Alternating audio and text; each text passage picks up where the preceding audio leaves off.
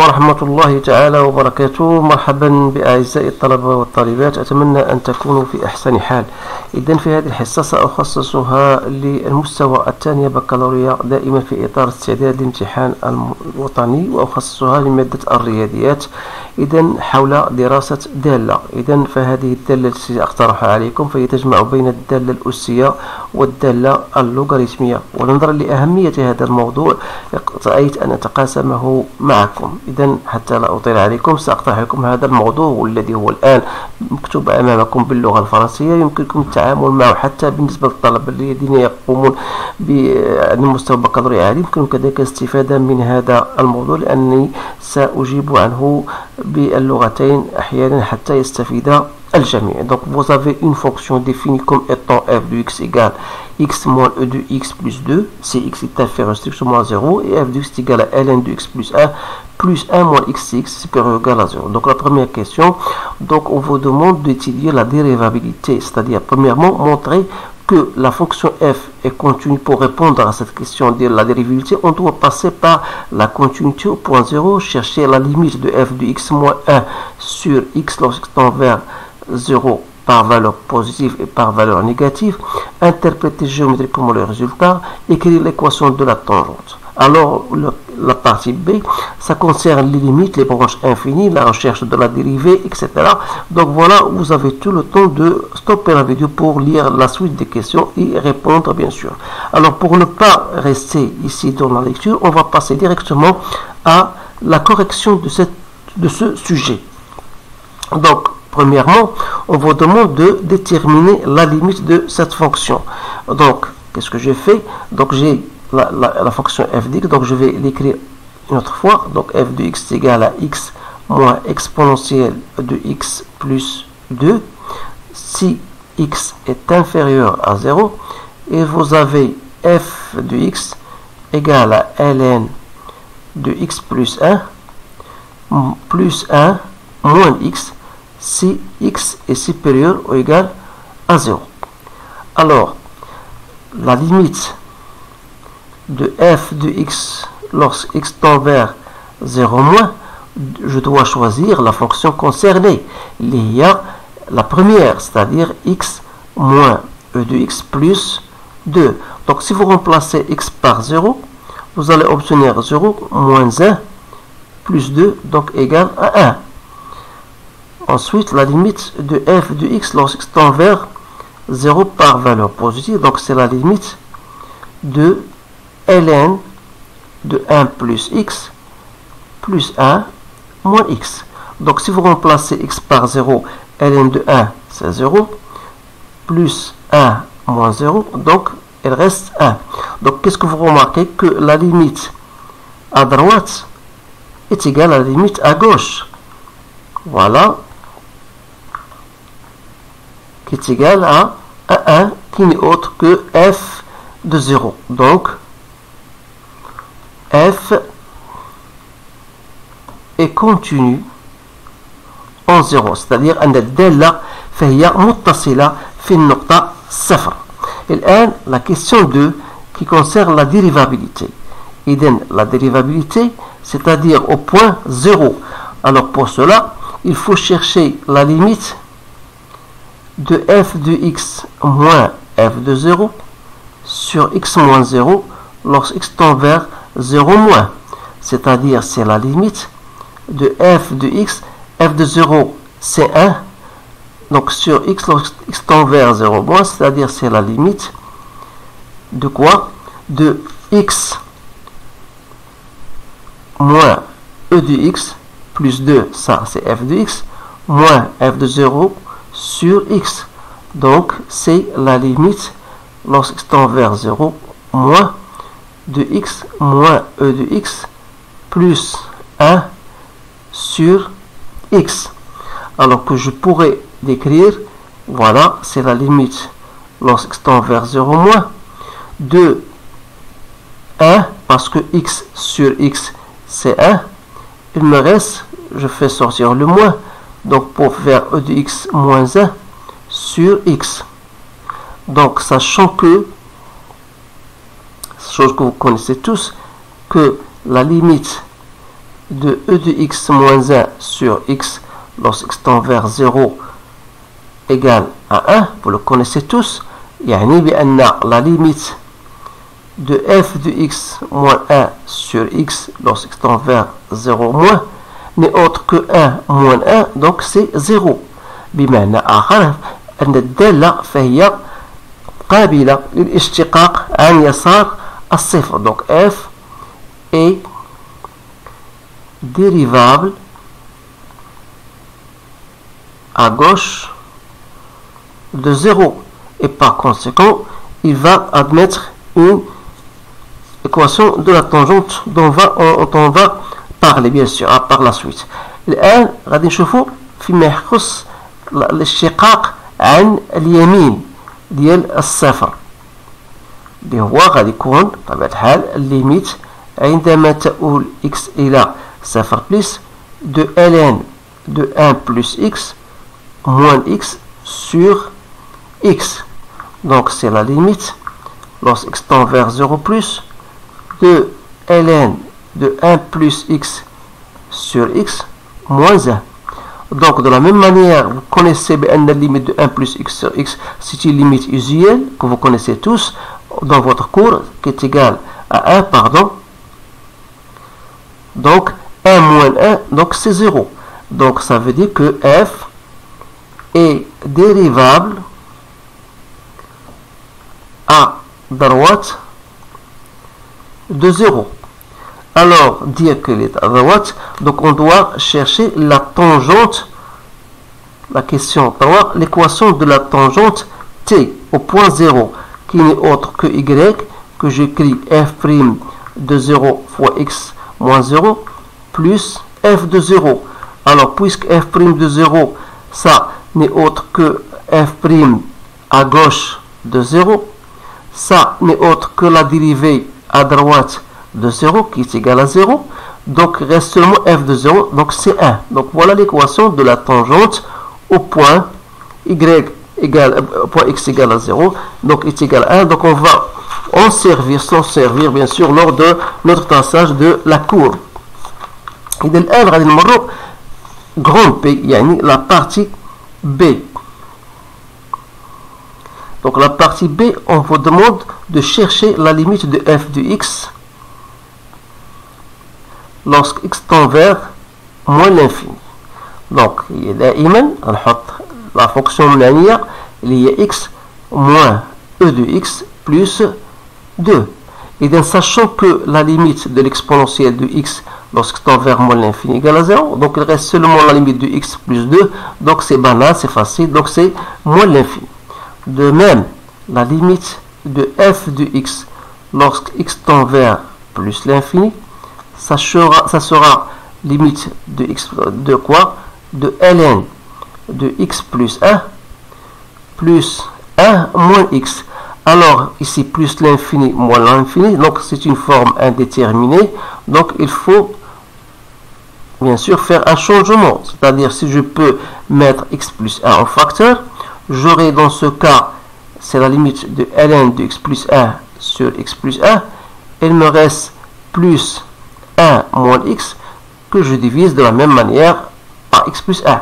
Alors ça, si je pose grand T égale à x plus 1, vous savez que lorsque x tend vers plus l'infini, t tend vers plus l'infini. Donc ça sera, donc c'est la limite. Lorsque t tend vers plus l'infini, de quoi je pose ici donc x plus 1, c'est t. Donc il reste ln de t sur t plus 1 moins x bien sûr, je, la laisse tel qu'il est, x plus 1. Donc ça, c'est pour vous montrer que la limite de ça n'est autre que 0. Parce que lorsque x tend vers 0, donc ça tend aussi vers 0.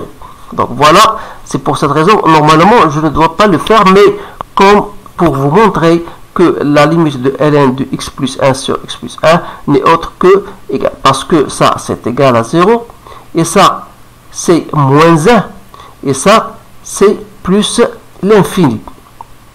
Alors, Donc ça me donne quoi? Ça me donne ici, ça c'est 0, donc ça c'est moins 1, et ça c'est plus l'infini. Donc moins 1 fois plus l'infini, donc c'est moins l'infini. Alors je dis que dans ce cas-là, voilà la limite de f de x lorsque x tend vers plus l'infini égale à moins l'infini. Alors là, il faut penser aux branches infinies. Donc on ne va pas, bien sûr, se précipiter. Donc on va suivre les, questions. Donc la question 2, on va, on demander de chercher f' de x. Alors, pour chercher de f' de x, donc il faut quand même mentionner que la fonction est dérivable. Donc f est dérivable. Dans ce cas, pour x inférieur strictement à 0, on aura f' de x, c'est la dérivée de x moins exponentielle de x plus 2. Donc, c'est-à-dire que f' de x n'est autre que 1 moins e de x. Donc, puisque x est inférieur à 0, cela veut dire que l'exponentielle de x est inférieure à 1, c'est-à-dire que e de x moins 1 est inférieur à 0, alors 1 moins l'exponentielle de x est supérieur à 0, ce qui prouve que f' de x est strictement supérieur à 0. Dans ce cas, je dis que f est strictement croissante sur l'intervalle 0 euh, bon l'infini pardon 0 parce que x est inférieur à 0 de même pour x strictement supérieur à 0 j'aurai dans ce cas f' de x c'est la dérivée de ln de x plus 1 plus 1 moins x. C'est-à-dire 1 sur x plus 1 moins 1. Donc si vous effectuez au dénominateur, j'aurai ici 1 moins x moins 1. Donc il reste moins x sur x plus 1. Donc, puisqu'ici, je dis, je parle de x supérieur ou égal à 0, c'est-à-dire que moins x sera inférieur ou égal à 0. Et comme toujours, x plus 1 est supérieur à 1 qui est supérieur à 0, ça veut dire que moins x sur x plus 1 sera inférieur ou égal à 0.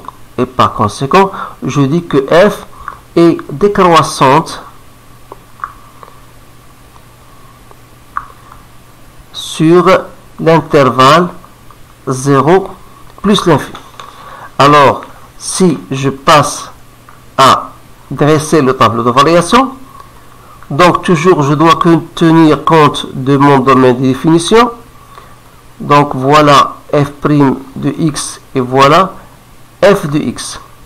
Alors, je sais que j'utilise dans mon infini 0 et 0 plus l'infini. Ici, j'ai trouvé 0. La dérivée est s'annule ici pour 0. Donc ça veut dire qu'il y aura une demi-tangente au point 0 et votre tableau de variation sera de cette allure-là. Donc, sent que ici, moins l'infini, ici, on a trouvé moins l'infini. Donc, voilà votre tableau de variation. Quatrième question.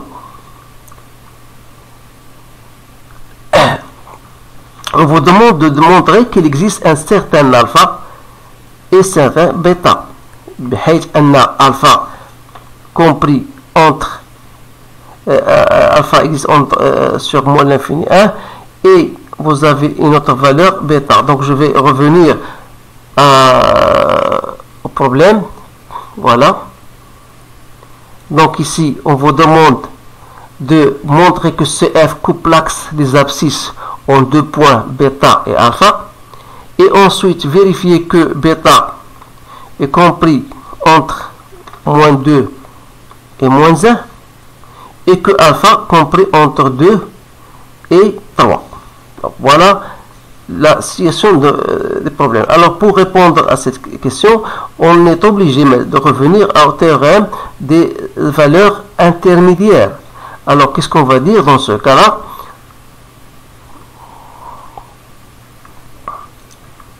Donc qu'est-ce qu'on a? On a f. La première des choses à remarquer que del f est mutasila donc on que f est continu sur R en particulier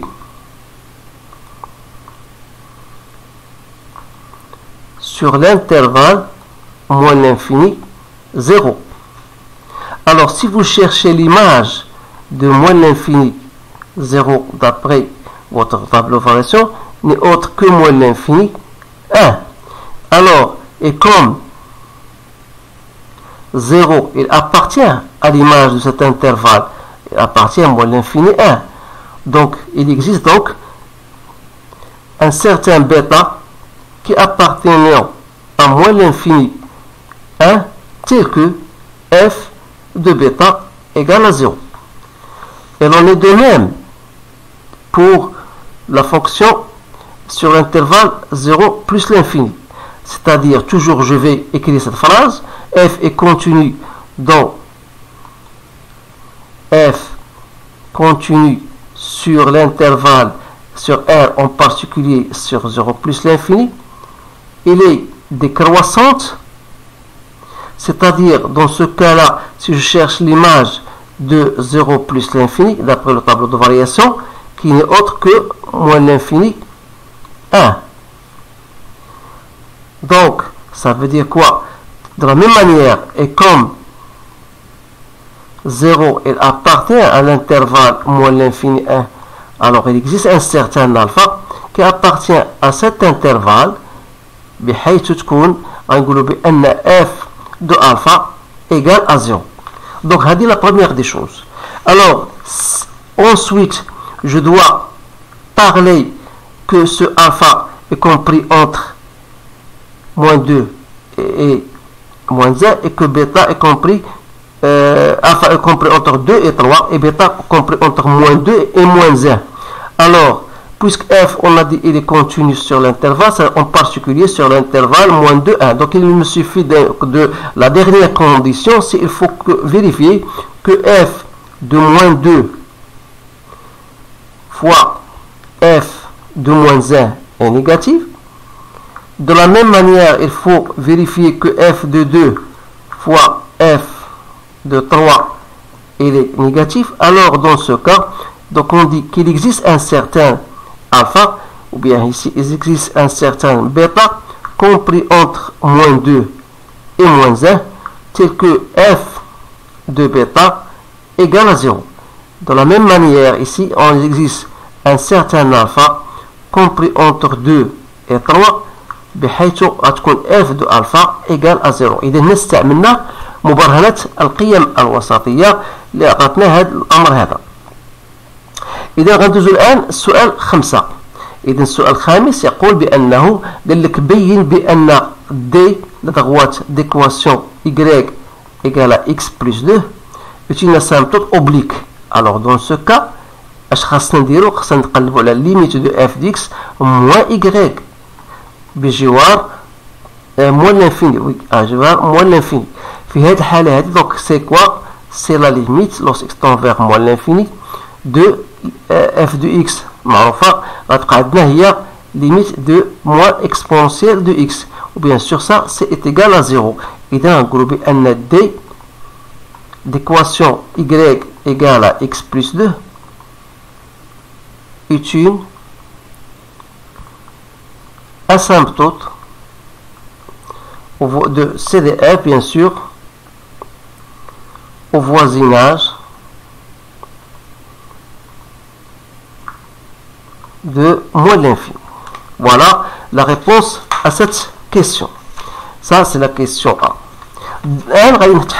la position relative أي الوضع النسبي اذا هذه المساله هذا السؤال الذي يطرح دائما يعني خاصك تقلب على اشاره ديال اف دو إكس موان ايكغيك اللي هي عندنا هي موان اكسبونسيال دو اكس وتعرف بان الاكسبونسيال دو اكس هي توجور بوزيتيف مع لو موان دونك سي نيجاتيف ستادير كو اف دو اكس sera inférieur à y مما يعني ان لا كورب سي دو اف sera au-dessus دو مستقيم الدي يعني تحته هذا هو الجواب عن السؤال بالنسبه قبل ما نمشيو لو تراساج دو لا كورب هذه غادي نقول لكم هنا عطاونا بطبيعه الحال لا سامبل اوبليك ولكن بالنسبة لي برونش بارابوليك برونش انفيني بالنسبة لا ليميت ديال اف دو إكس بلس لانفيني لأن لقينا ليميت دو اف دو إكس عندما تؤول إكس إلى بلس لانفيني هي موان لانفيني اذا خاص نقلبوا على ليميت دو اف دو إكس سور إكس عندما تؤول إكس إلى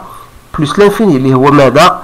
ليميت ديال ln de x plus 1 sur x plus 1 moins x sur x. هذا ما عندناش فيه إشكال لأنه هو موانزه خاصنا نقلبوا على لا ليميت دو x بلس 1 sur ان ln sur x. اذا لوس إكس تنفير بلس لانفيني اذا باش نوصلوا لواحد لا ليميت اللي هي ستاندار عندنا في الدرس ln de x sur x. يعني ln de grand x sur x. Donc voilà. Donc il suffit ici de multiplier x plus 1 de part et donc هنا تلاحظ بأن هي la limite ديال ln si je pose x plus 1 هي t donc t tend vers plus l'infini ln de t sur t ça tend vers 0 et ça ça tend vers 1 donc c'est 0 donc هنا لقينا بأن limite de f de x euh, limite de ln de x plus 1 هنايا لقيناه هو 0 donc qu'est-ce qu'il reste donc la limite de f de x sur x lorsque x tend vers plus l'infini اذا قاعدين شنو هي تكون عندنا هي موان donc voilà اذا اذا كانت موان ça veut dire donc dans ce cas je dois chercher la limite de f de x lorsque x tend vers plus l'infini, de f de x moins a de x, c'est-à-dire plus x, qui n'est autre que la limite de ln de x plus 1 lorsque x tend vers plus l'infini. Donc, il y a plus l'infini. Il fait بأن c de f, il admet une branche, je m'excuse si on l'a abrégé, mais l'espace, une branche parabolique de direction l'axe des y. Voilà. عفوا de l'axe de la droite d'équation y égale a moins x. تسميها مثلا الدلتا لأن عندنا هنا موانزه اذا هاد الأمور هذه خصكم تركزوا فيها مزيان لأنها مهمة. اذا الآن بقى لنا إلا نفسر لكم لو تراساج اذا لو تراساج اللي تراسي قبل باش ما نضيعوش إن هنا نعطيكم غير إشارات كيفاش خاصكم ديروا باش تراسيو. إذا أول حاجة اللي خاصك ترد لها البال وهو تمشي مباشرة لجدول التغيرات. إذا جدول التغيرات قلنا بأن عندنا واحد زيرو اف بريم ساميل أو بوان زيرو a une demi-tangente ou bien une horizontale. Voilà que j'ai représenté ici. Tel que f de 0 est égal à 1 أو قلناها مباشره من بعد السؤال السابق بان égale y égale à 1 Donc voilà, la première des choses.